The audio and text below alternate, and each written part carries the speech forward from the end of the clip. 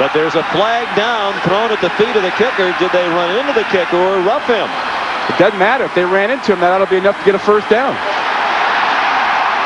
It is running into the kicker. Frank Beamer, who coaches the special teams himself. Running into the kicker. Against the defense. Five-yard penalty. First down. Sometimes to seeing those special teams make inspiring plays to ignite his team. Now they make a play that, oh boy, that keeps the West Virginia possession alive. That was more like sliding into the kicker and really uh, barely brushing him with a forearm on the leg. If that is a penalty that will put in the rule book. Wow. Ninth penalty against the Hokies. So it's first and 10 from the 25-yard line. Two tight ends. That's the most penalties that uh, Virginia Tech has had in the game this year. Wilson fumbled the football. Picked up by Vegas Robinson. He got rid of the football. And now it's Vincent Fuller all the way into the end zone for a touchdown.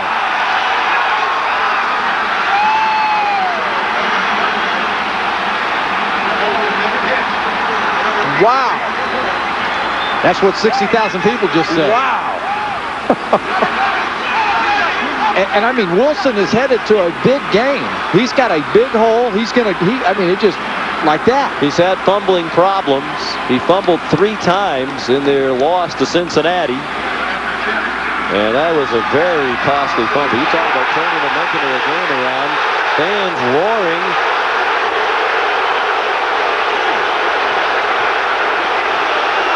They saw a replay on the screen. It looked like Vegas Robinson was down before he got rid of the ball to Vincent Fuller. And the ball should have marked down near midfield. We'll look at that when we come back. The extra point up and good by Warley, And all of a sudden, it is a one touchdown game. Oh. Certainly he was down. He's down. He lost the football on a fumble. But he was down. That play should have been blown dead. West Virginia will punt Virginia Tech to get the ball back with under a minute left here in the first half. Bear in mind that the Hokies have blocked 100 kicks, punts or kicks under Frank Beamer in his 17 years as coach at his alma mater. They blocked a field goal last week for the 100th block kick. 52 of them have been punts. Todd James got it off. DeAngelo Hall. Crowd roaring. They wanted a clip that seemed to occur right along the hash mark. There was no flag thrown. And Hall returned two punts for touchdowns against Syracuse in their last game. Returns that one for five. Uh, and uh, we were in the meetings together. He, he, was not supposed to punt the ball to DeAngelo Hall today, was he? They worked on it all week. Kicked the ball out of bounds at a different angle. I think that was clearly a mistake. Well, they got away with it. And how will Virginia Tech play without a timeout? at their own 36-yard line and 35 seconds left in the half. Looks like they intend to throw it with four wide receivers and Randall working out of the shotgun. They're lucky to be down only by seven. I, I just go in at halftime and be happy. Randall, couple of fakes, then throws short. And out of bounds goes Cedric Humes. No gain on the play, perhaps even a loss of a yard. And the clock shows 30 seconds left. That was a very careful play. Well, if you're going to keep being careful, I mean, just go on in at halftime. Either throw it down the field or just go on in. I kind of I, I, agree with you, Rod. They're they are fortunate to be 14 to seven. Don't even take a chance on letting West Virginia yeah. do something. And they've been outplayed by West Virginia for most of the half. As much as it was a bad call and a touchdown, Tech scored. Of course, it never would have happened had Wilson not fumbled. That pass thrown up for grabs and almost intercepted. They had a 14 to nothing lead with a chance to punch it in again when Wilson fumbled. That was the West Virginia turnover. But first, there was a couple of turnovers that led directly to two West Virginia touchdowns. And then the fumble by Wilson. The run back by Robinson. He was tackled. lost control of the football, and Vincent Fuller picked it up and ran it the rest of the way. And, and these turnovers are a result of West Virginia being faster than what Virginia Tech has seen. All the points in this game off turnovers, 68 yards. The distance covered by Robinson and Fuller on the fumble return. Randall zings one. Incomplete flag thrown against Mike Lorello. West Virginia sideline in an uproar. Lorello came over the back of Justin Hamilton. I don't know about that one either. That, that's a bad call. You know, you have a right to make a play on the ball. Yeah, I, I don't think these officials have had a great half. He's got a right to attempt to knock the ball away, and the receiver. Defense, 15-yard penalty, automatic, first down. And on top of it, I don't believe the receiver was even in a position to make a play. Well, maybe they got him for the trip. That or Hamilton's a good actor. But that's okay. inadvertent with feet down below. Yeah, they got him for the trip. The trip. But, but, you do have the right to go make a play on the ball. Yeah, absolutely. But in the, that word inadvertent, which I never have understood, but when your feet get tangled up, you didn't really mean to do it like, oops, I'm sorry. Yeah. Yeah. 28 seconds left in the half. Oh. Sacked by Ernest Hunter, the sophomore from Burke, Virginia, in the Washington, D.C. area. Third sack of the night for West Virginia. It'll be the final play of the first half.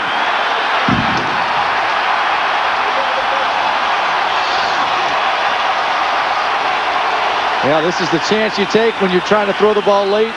Second quarter, and, and that just that kind of hit right there got the momentum back to your guys going to the locker room. Rich Rodriguez chatting with the referee Jack Kramer in the middle of the field as the teams run off. I wonder about what.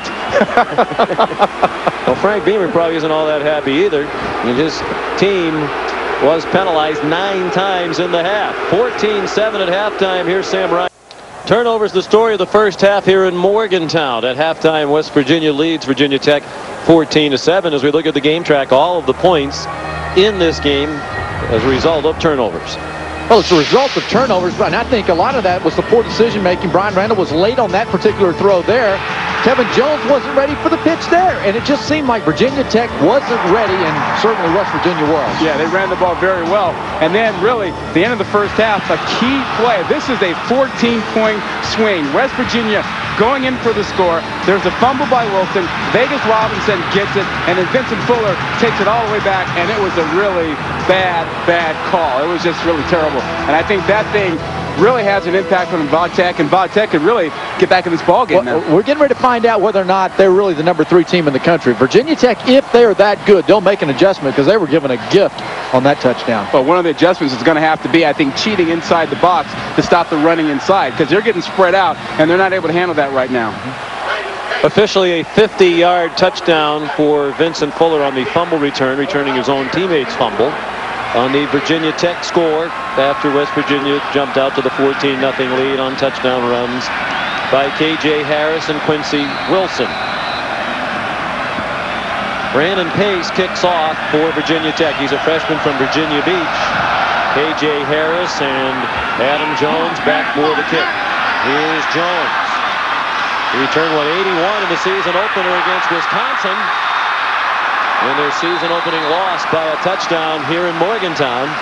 That's a 37-yard return tackled by Chris Caesar. We check the first half stats. Yeah, right down here. This that those penalties, nine for 67 yards against Virginia Tech, shows that they're not playing smart and that West Virginia is creating some opportunities and getting them out of position. Yeah, and how about the 131 yards rushing for West Virginia against a defense that was only giving up 88 a game? And they just took it to him in the first half. 43 yards rushing for Virginia Tech, but some of that was the sack yardage. Came off the rushing total. They had three sacks for the Mountaineers. Nice fake, but then a bad throw for the tight end, Tory Johnson. Rasheed Marshall off the mark. Here's Sam Ryan. And Sean, I spoke to Rich Rodriguez at the half. He told me our defense is playing hard on offense. We got great field position. We just have to learn to finish now. He said we should be up 14 nothing. We feel like we gave them a cheap one at the end. Sometimes you get those calls. Sometimes you don't. You just have to play through them, guys. Thank you, Sam. And I think that's a key for his team at halftime, guys. Don't dwell on what you might think is a bad call. Just keep playing. Play the next play. Nothing doing on second and 10. Quincy Wilson into the middle for no gain. Jonathan Lewis made the tackle with help from Brandon Manning. And Virginia Tech's defense has to make the statement here in this opening drive. And, you know, some people here probably saying, why did he throw the ball on first down? It was a good call. He just overthrew the receiver. Mm -hmm. Third and nine. Hokie showing blitz. And then they move out of it as Michael Crawford resets. Just a four-man rush. Wide receiver screen. Chris Henry does not get the first down. Hokie's indicating the ball came out. It looked like it might have. They want the call. The officials have not signaled yet. And they say West Virginia ball. Fourth down. Well, this could be DeAngelo Hall time now on punt returns. Remember, special teams, we always think about blocks for Virginia Tech, but they can't get big returns out of that guy. It better not be a return by him. I mean, if they do, they ought to fire the special teams coach and we'll get a new punter. I, I, mean, he has been coached well this week to kick the ball away from DeAngelo Hall. He kicked one to him in the first half, though. And he got lucky. They got away with it. Todd James, who frequently rolls to his right rugby style before punting, stayed in his usual position and got it off and no return for DeAngelo Hall. The ball down at the 25, a 32-yard punt. Scott Jurko downed it. We look back at some key plays and the Mountaineer folks in the press box here at halftime were whining about the officiating and you're looking at the reasons why. Well, I think what you want is consistency. On those first two plays that you saw, there was a quick whistle lack of progress. They didn't get the fumble. And then on the fumble, there was not a quick whistle. You want them to be consistent on those, Craig. Yep. We should point out the Hokie folks weren't all that happy either, which means and perhaps they've done a good job. At least they've been equal opportunity upsetters of this officiating crew. Kevin Jones, the ball carrier, out to the 30 for a gain of six. And for Virginia Tech, they came into the game saying they were going to go two tides, pound them, and, and knock them off the ball, okay? They've got to come back now, and, and it's the gift is there. If they're in the ball game, they got to do it.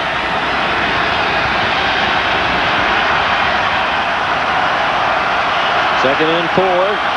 Randall under center. Randall 8 out of 11 passing.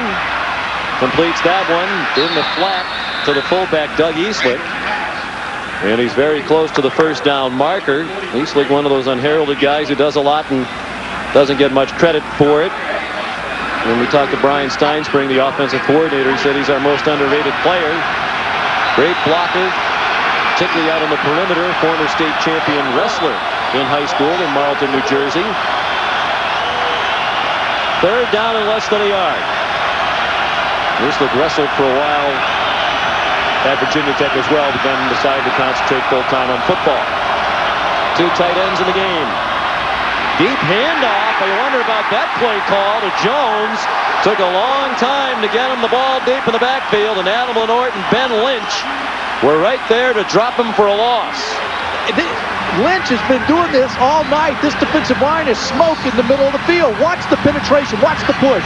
Swim. Get rid of it. Linebacker comes through. They're dominating up front.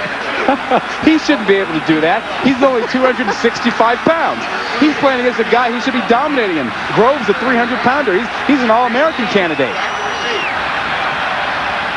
Then he burns to punt to Pac-Man Jones. They came after the punt. And Burns got it off very nicely. It is muffed by Pac-Man. And he dives on the ball back inside the five-yard line. A 63-yard punt when all was said and done because of the muff.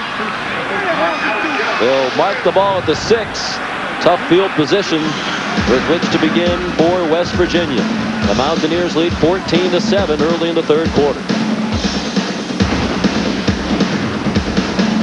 Producer Scott Matthews, director John McDonough leading our ESPN Wednesday night crew. First and 10, West Virginia.